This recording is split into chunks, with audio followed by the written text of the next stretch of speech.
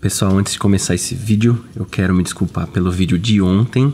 Eu não faço a mínima ideia do que aconteceu com o áudio, porque se você tenta escutar sem o fone de ouvido, algumas partes do vídeo fica mudo. E se você põe um fone, o som vem. Então, não sei se foi defeito meu ou se foi defeito do YouTube, porque não faz o mínimo sentido. Eu uso aqui os melhores equipamentos que eu posso é, com qualidade para mandar para vocês vídeos com qualidade de estúdio. Só que eu fiz a grande de usar um maldito cabo Xing Ling. Então, peço mil desculpas. Prometo que não vai mais acontecer. E se você não assistiu o vídeo de ontem, põe o fone de ouvido.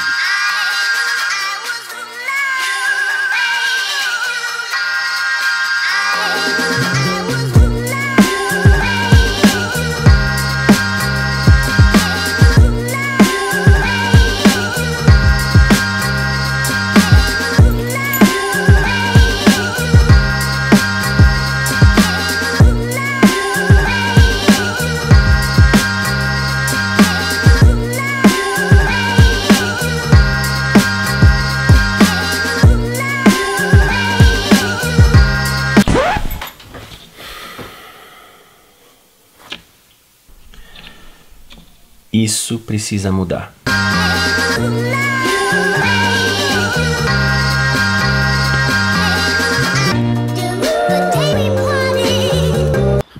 Se tem uma coisa que é fácil de ganhar aqui na Irlanda, é peso. Nós decidimos que vamos cuidar da saúde, finalmente.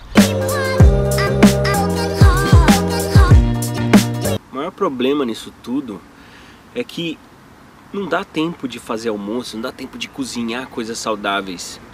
E comida fast food aqui na Irlanda é muito barato, muito barato. O problema é que quando você vai comer fora é isso: batata frita, hambúrguer, pizza. Baixei um aplicativo aqui chamado Running Keeper. Start Free Ram.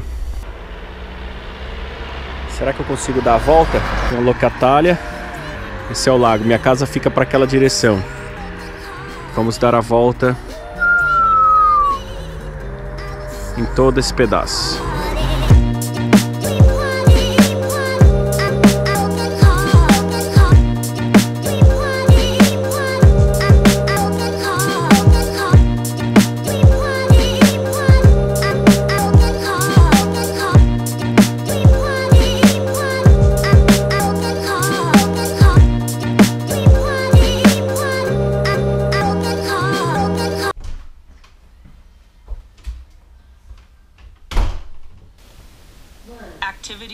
Stopped.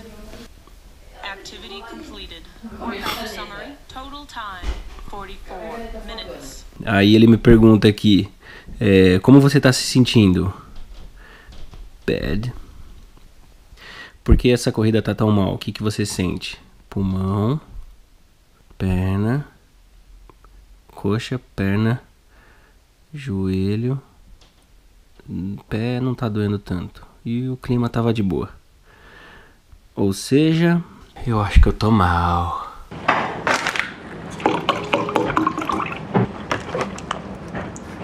Hum. Não é tão difícil de comer uma alimentação saudável.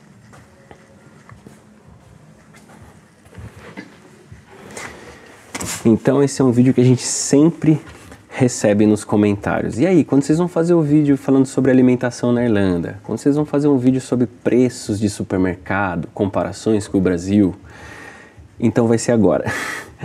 na verdade, a gente, eu não, não gostaria de fazer um comparativo com as coisas do Brasil, porque sinceramente eu não vejo sentido nenhum nisso. Não vai ajudar em nada as pessoas só ficarem mais porque as coisas aqui são mais baratas, mas a intenção é ajudar as pessoas que já estão aqui né, a economizar dinheiro e também achar as coisas que eles pensam que não existem aqui na Irlanda. Então, para você ter uma ideia, eu conheço pessoas aqui que moram aqui há mais de um ano e, e, continuam bebendo café solúvel, fazendo feijão enlatado, porque acham que aqui não vende feijão. Então, assim, nós já estamos, eu e a Anne, a gente já está aqui na Irlanda há, uns três anos, mais ou menos.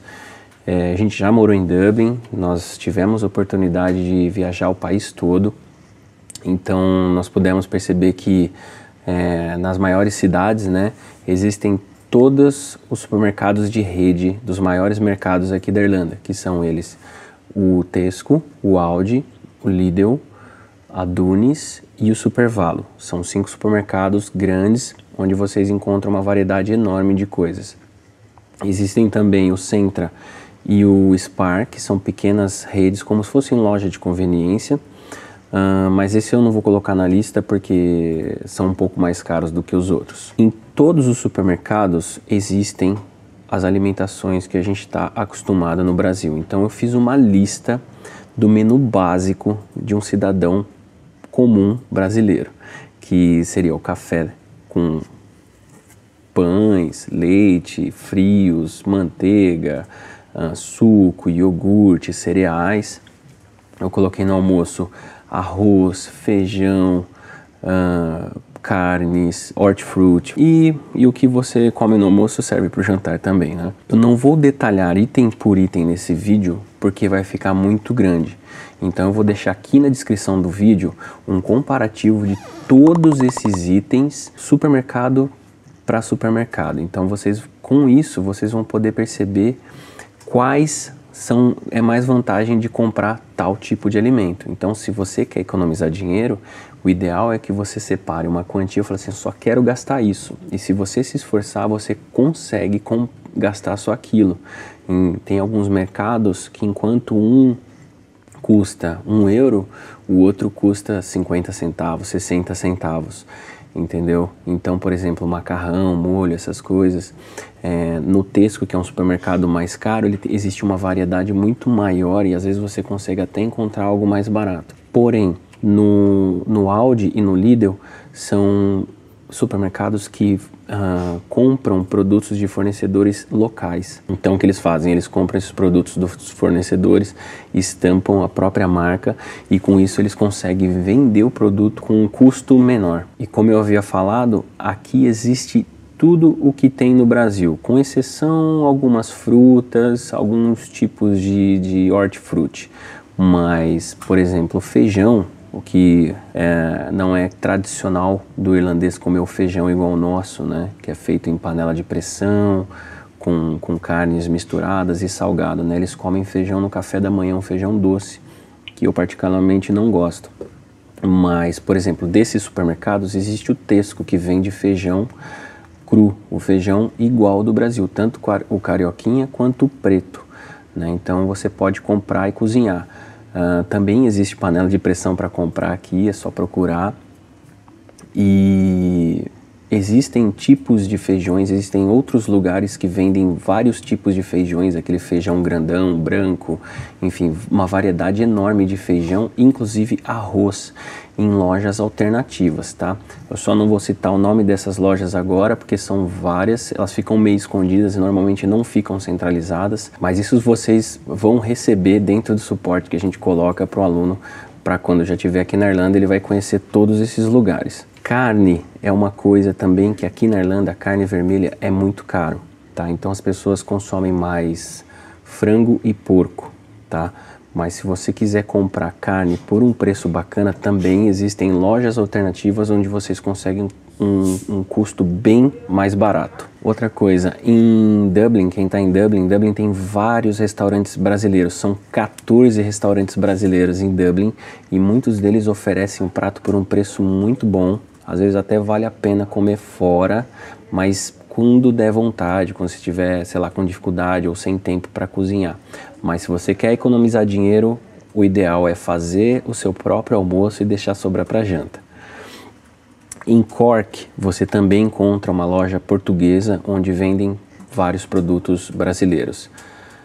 É, aqui em Galway existe uma cidadezinha muito próxima daqui que você pode até pedir por encomenda. Eles entregam farofa, eles entregam bis, é, produtos assim que você não encontra em outras lojas aqui na Irlanda, mas que você encontra nessas lojas brasileiras, Guaraná, café pilão, enfim, coisas que a gente não acharia aqui na Irlanda.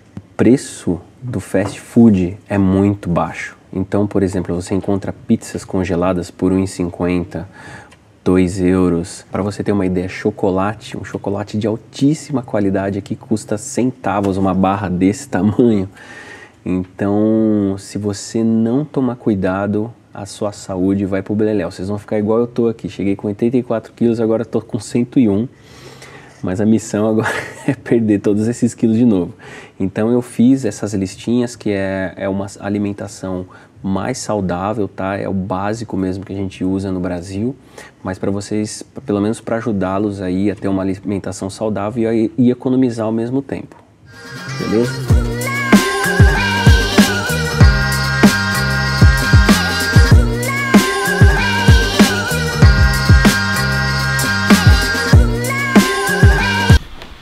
Então chega por hoje, né? Bora para casa. Vamos pela escada, né? Agora nós estamos emagrecendo. Bom, então é isso. O vídeo de hoje foi esse. Se vocês gostaram, deixa aí seu like para dar uma forcinha aí pra gente divulgar esse vídeo. E compartilha aí com quem já está aqui e está tomando café solúvel comendo feijão doce até hoje. Cheers.